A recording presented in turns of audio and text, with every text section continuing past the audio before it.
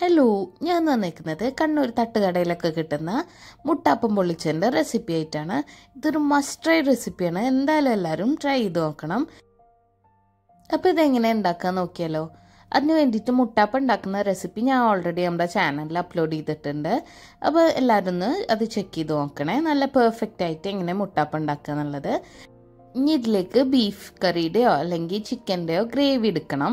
ഞാനിപ്പോൾ ബീഫ് കറിയാണ് എടുത്തിട്ടുള്ളത്. അപ്പോൾ കുറച്ച് കട്ടിയിലായതുകൊണ്ട് കുറച്ച് ചൂട് വെള്ളം ഒഴിച്ചിട്ട് ഒന്ന് അഡ്ജസ്റ്റ് ചെയ്ത് കൊടുത്തിട്ടുണ്ട്. ഓൾമോസ്റ്റ് ഒരു കപ്പ് വരുന്നുണ്ട്. ഈ ചൂടുവെള്ളം ഒഴിച്ചിട്ടുള്ള ഈ ഒരു മെഷർമെന്റ് എന്നിട്ട് അതിലേക്ക് നമ്മൾ ഈ മുട്ടാപ്പം വെച്ച് കൊടുക്കുന്നുണ്ട്. ഞാനിപ്പോൾ ഒരു ഫ്രൈ പാനാണ് എടുത്തിട്ടുള്ളത്. വോക്ക് പാനൊക്കെ ഉണ്ടെങ്കിൽ കുറച്ചും കൂടി മിക്സ് ചെയ്യാൻ അടിപൊളിയായിരിക്കും. എന്നിട്ട് ഇത് ഇട്ട് കൊടുക്കുക. വേണമെന്നുണ്ടെങ്കിൽ നമ്മൾ സെന്ററിലൊന്ന് കുത്തി കൊടുത്താൽ ഉള്ളിൽക്കും ഒക്കെ നന്നായി മസാല പിടിക്കും. അല്ലാതെ തന്നെ ഇത് അടിപൊളിയായിട്ട് സോക്കായി കിട്ടുന്നുണ്ട്.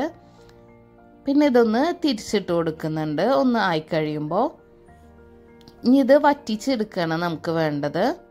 വോക്ക് പാനൊക്കെ ആകുമ്പോൾ നമുക്ക് ഇളക്കി കൊടുക്കാനൊക്കെ എളുപ്പമുണ്ട്. ഇതിപ്പോൾ അതിന്റെ മുകളിലേക്കൊക്കെ ഞാൻ കറി ഇങ്ങനെ ആക്കി കൊടുക്കുന്നുണ്ട്. ഇത് നന്നായി ഇതിൽ കിടന്ന് സോക്കായി വരും.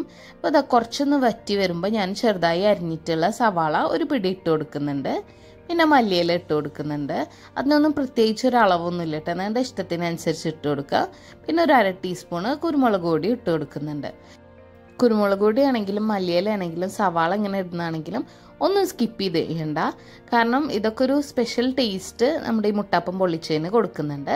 ഇനി ഇത് നന്നായി ഒന്ന് മിക്സ് ചെയ്ത് കൊടുക്കുന്നുണ്ട്. അപ്പോൾ ഇത് ഓൾമോസ്റ്റ് ഇങ്ങനെ കുറുകി വന്നിട്ടുണ്ട്. ഇനി ഒന്ന് നന്നായി മിക്സ് ചെയ്ത് എല്ലാ ഭാഗത്തും എത്തിയിട്ട് ഒന്നും കൂടെ കുറുകി കിട്ടുമ്പോൾ ഇത് ഓഫ് ചെയ്തിട്ട് മാറ്റാം. അടിപൊളിയാണ്. എന്തായാലും എല്ലാവരും ട്രൈ ചെയ്യണം. ഞാനത് തട്ടുകടയിൽ നിന്നൊന്നും കഴിച്ചിട്ടില്ല. പക്ഷെ ജസ്റ്റ് ഇങ്ങനെ കണ്ടപ്പോൾ ഉണ്ടാക്കി നോക്കിയതാണ്. പിന്നെ ഒരുപാട് തവണ ഉണ്ടാക്കി. ഇവിടെ ഹസ്ബൻഡിനും എനിക്കും ഒക്കെ നല്ല ഇഷ്ടമായി നല്ല അടിപൊളിയാണ് എന്തായാലും. നമ്മൾ നോർമലി കറി ഡിപ്പ് ചെയ്ത് കഴിക്കുന്നതിലും നല്ല ടേസ്റ്റാണ് ഇങ്ങനെ കഴിക്കുമ്പോൾ അപ്പോൾ ഇത് റെഡി ആയിട്ടുണ്ട്. നമുക്ക് ഫ്ലെയിം ഓഫ് ചെയ്തിട്ട് ഇത് വേറൊരു പാത്രത്തിലേക്ക് മാറ്റാം.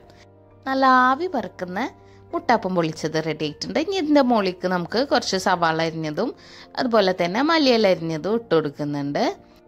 പിന്നെ ഇതിന്റെ കോമ്പിനേഷൻ എന്ന് പറയുന്നത് ഉള്ളി സാലഡും അതുപോലെ തന്നെ മയനീസും ചിക്കൻ അൽഫാമും എന്നൊക്കെയാണ് പറഞ്ഞത്. പക്ഷെ ഞാനിവിടെ നോർമൽ ചിക്കൻ ഫ്രൈയും അതുപോലെ തന്നെ സവാള സാലഡുമാണ് എടുത്തിട്ടുള്ളത്.